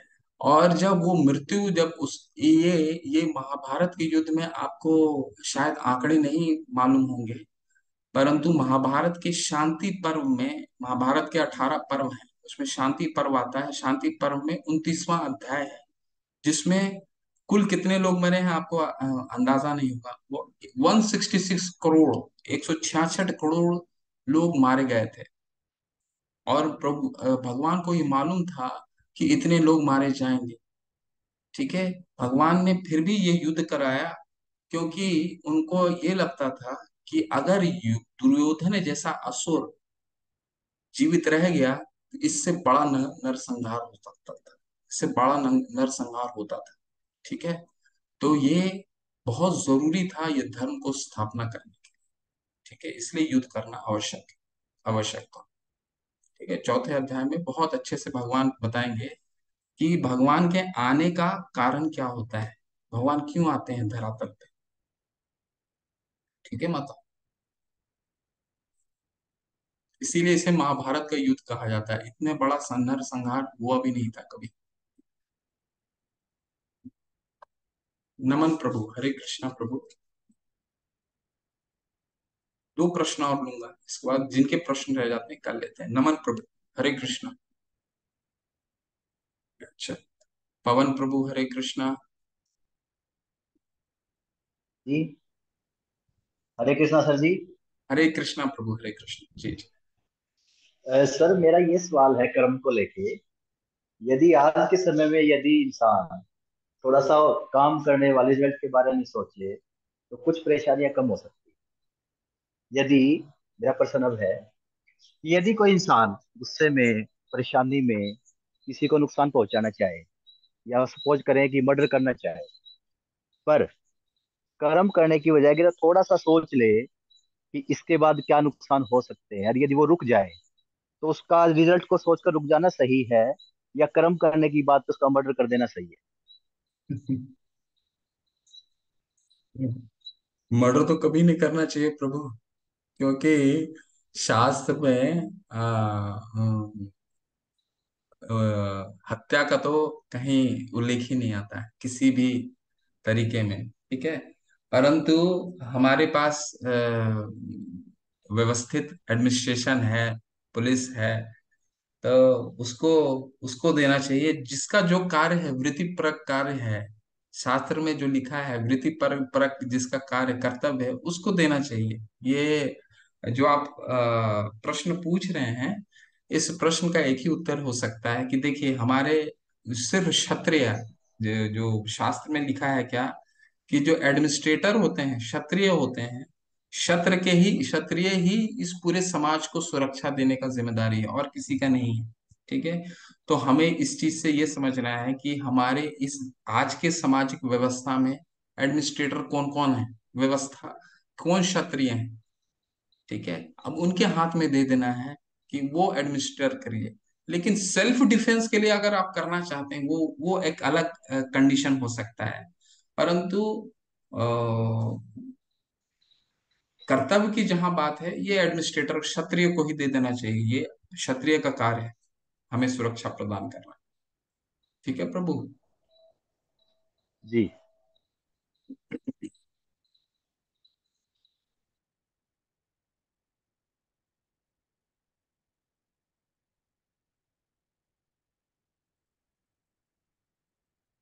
सोनाली शुक्ला माता जी आप अनम्यूट कीजिए माता प्लीज़ प्रभु प्रभु जी मेरा ये सवाल है कि जो शॉर्टकट से आपने समझाया था कि ऑब्जेक्ट के प्रति अगर मोह हो जाए फिर क्रोध उत्पन्न होता है और फिर पतन होता है। सो so, अभी तो ये सांसारिक जीवन में जो हम जी रहे हैं तो हमें तो हर चीज़ से मोह है। तो उस मोह से मुक्ति कैसे पाई जाए? मोह भगवान में उत्पन्न करना है। भौतिक अच्छा चीज़ों पे मोह उत्पन्न कीजिएगा तो वो जो जो भी भौतिक चीज़ है मा, माता वो भौतिक चीज़ तो खत्म होने वाली है। हमें आई एप्पल के आईपैड पे अगर मोह हो गया तो नया एप्पल का आईपैड एक साल के बाद नया संस्करण आ जाएगा उस पे मोह हो जाएगा। क्योंकि हमारा वो जो भौतिक चीज़ जितनी भी भौतिक चीज़ें हैं सब सब नश्वर है सबका अंत होने वाला है। ठीक है? ये तो घर प्रभु जी इसका मतलब है कि अ, अ, अ, जो रिश्ते भी हमसे बांधे हुए हैं उन रिश्तों के लिए भी हमें उतना मोह नहीं रखना चाहिए। आ, उनको भगवान के बिल्कुल प्रेम तो एक से ही हो सकता है माता। प्रेम सभी से नहीं हो सकता। प्रेम हमें ईश्वर से करना है। बाकी सारे जितने हमारे रिश्ते हैं सबको हम कर्तव्य के रूप में देखना है। क्यों? क्योंकि सभी भगवान के अंश हैं। ठीक है? तो भगवान का जो भक्त होता है सभी एक दूसरे को भगवान के अंश के रूप में देखता है तो हमें कर्तव्य का पालन ज़रूर करना है। परंतु प्रेम तो सिर्फ़ एक से ही कर सकते हैं क्योंकि बाकी के साथ जो प्रेम है वो तो नश्वर है ना माता। इस इस इस जीवन में सिर्फ़ एक ही प्रेम जो है वो करीबन भगवान के दिव्य के रूप में आता है हुआ है माता और छोटे बच्चे का जो रिलेशन होता है। बाकी का जो भी रिलेशन है वो क्या होता है कहीं ना कहीं एक आदान प्रदान का रिश्ता होता है तो उसे हमें कर्तव्य के रूप में लेना है। हम पढ़ेंगे माता इन सब चीज़ों के बारे में बहुत अच्छे से भगवान क्या बोलते हैं बहुत अच्छे से व्याख्या आने वाला है। जी गुरु जी धन्यवाद। हरे कृष्ण।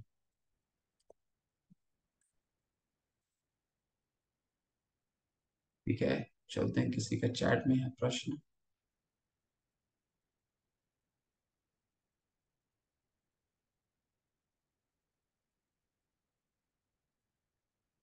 प्रियंका तिवारी कह रही हैं, पाँच माला से ही आप कल प्रश्न कीजिए, इसका उत्तर देता हूँ। आपका प्रश्न समझ गया माता जी आप कल ज़रूर रहिए आपके प्रश्न का उत्तर देता हूँ। ये आपके नेफ्यू जो हैं, पहले पाँच माला कर रहे हैं, अभी एक या दो करते हैं, कम हो गया है। कल देता हूँ इसका प्रश्न का उत्तर। प्रभु जी, बदाली शर्मा, आपने चेतना अच्छा एक्सप्लेन करा है डाउट होने